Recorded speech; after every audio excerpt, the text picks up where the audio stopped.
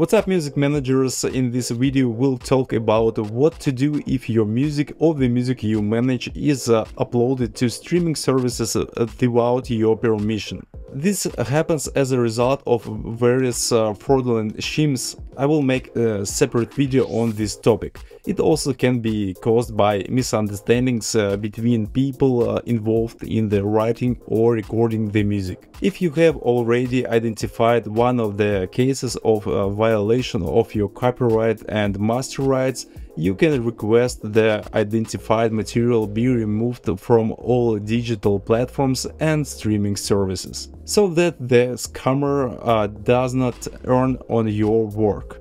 You can request the takedown in four ways. Option number one uh, will be to contact the artist on behalf of whom the music was uploaded. To do this you need to find his contacts or pages on social networks and request the removal of music from digital platforms.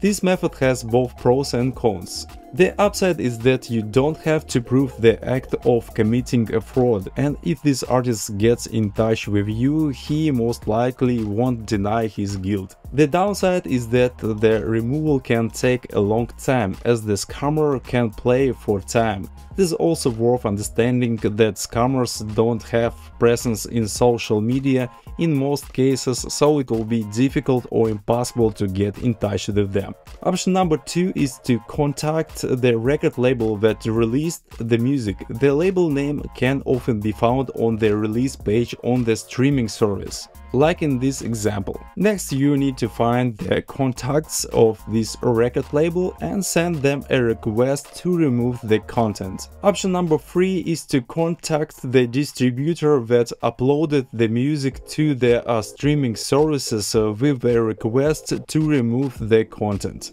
In order to determine the distributor, there are two methods uh, known to me so far. The first way is to look at information on YouTube. If you find at least one video on YouTube that contains a new version of your track, in the description of the video you will see who uploaded this version. Here's an example. The second way is to look up distributor information on Jaxsta. Jaxsta is a database of music credits. Many distributors deliver music credits uh, to this service. We go to Jaxsta's website and in the search bar we write the name of the track that violates your copyright.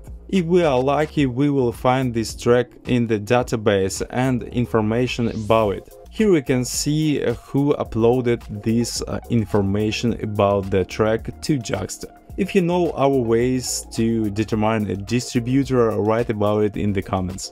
Once you have identified the distributor, you need to contact that company and submit a takedown request.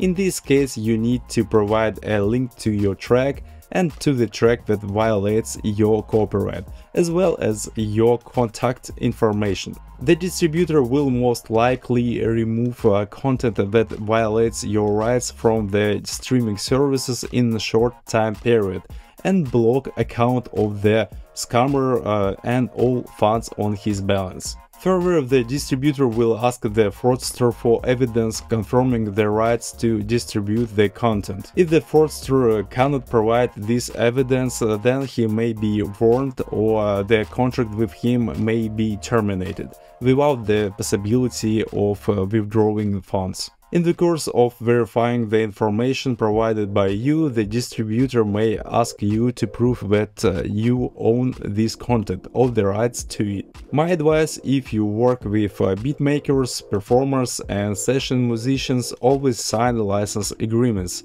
these agreements uh, will just help you in such situations. I talked about our ways how you can uh, prove the rights to music in a separate video, the link will be in the description. You also need to be aware that if you provide false information in your request, this may lead to penalties for perjury if you are sued. So if you have intentions to harm innocent copyright holders, I advise you to abandon this idea. Option number 4 is to contact one of the streaming services. Large digital platforms like Spotify and Apple Music have special takedown request forms, often referred to as DMCAs. Links to these forms will be in the description of this video. I used to think that it is necessary to write uh, such requests to all streaming uh, services and each streaming service will uh, remove uh, releases uploaded uh, by scammers from its database. But actually it's necessary to send a request to only one service.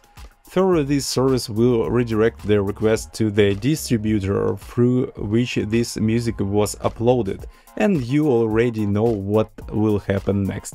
Distributors may suffer from this method as the streaming services uh, may lower this distributor in its rating, which will affect delivery times and financial conditions. For reasons of professional ethics, it is worth trying to resolve the issue of removal of content first with the distributor, record label or artist who uploaded the content. By the way, I run a Telegram channel uh, where I post news from the world of music distribution. If you are interested in this topic, subscribe, the link will be in the description. Let's move on uh, to the next action you can take uh, regarding this scammer and that's uh, charging royalties for the period of time while the content was on digital platforms. You can apply this measure only to a fraudster if he can be identified, of course. You can make a request for financial statements and based on the information received uh, request the payment of royalties.